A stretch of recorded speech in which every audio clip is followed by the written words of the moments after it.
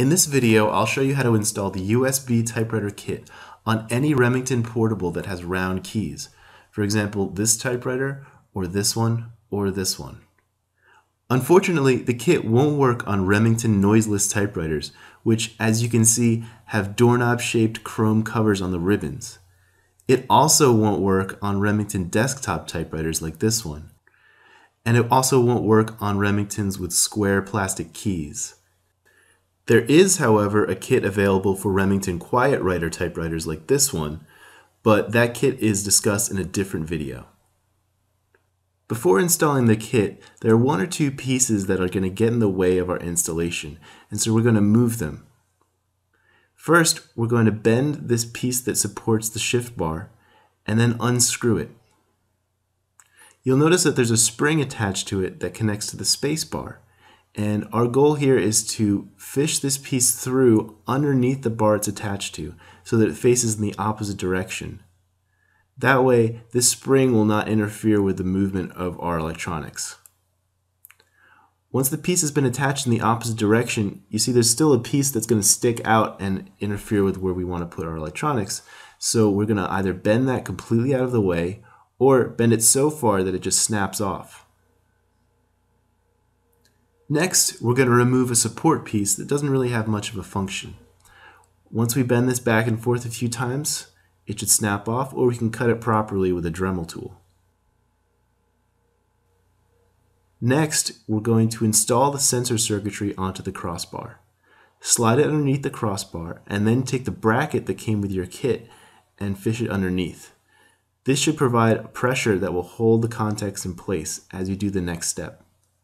Before proceeding, make sure that each of the contacts is lined up pretty well with each of the teeth that's on the crossbar. Also make sure that the contacts are flush against the crossbar. Now, add a thin bead of glue in between the circuit board and the crossbar, and then lift the circuit board up. Now it should make something like a 45 degree angle. Hold the circuit board in this position for a minute or two until the glue sets. Next, add a thick bead of hot glue in the space between the contacts and the crossbar. It doesn't look like I'm adding a lot of hot glue here, but I actually am.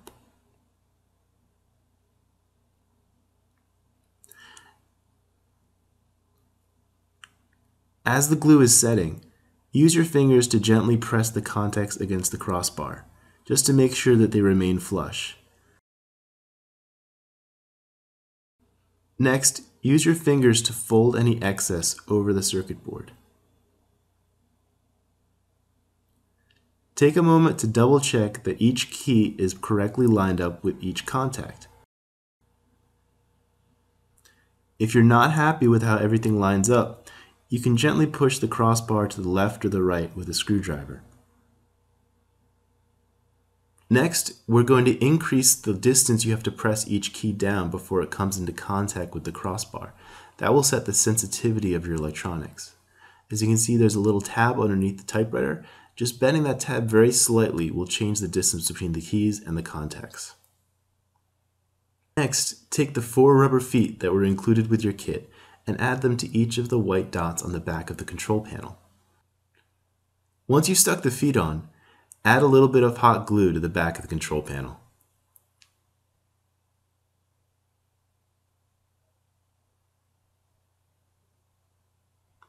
Before the glue has had a chance to set, place the control panel on the left rear side of the typewriter.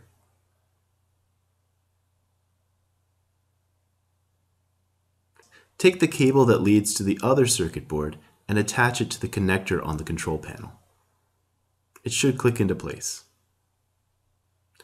The next step is to remove the screw shown here. Once you've removed it, take a nail file or some sandpaper and scratch away any paint or dirt that might be covering up the electrically conductive metal underneath. Now screw in the green wire.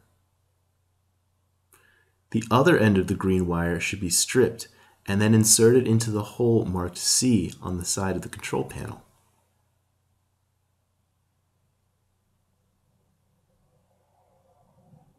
Tighten the screw to lock it into place. Now, depending on what model of typewriter you have, there might not be enough clearance underneath so that the electronics will hit the table every time you hit a key.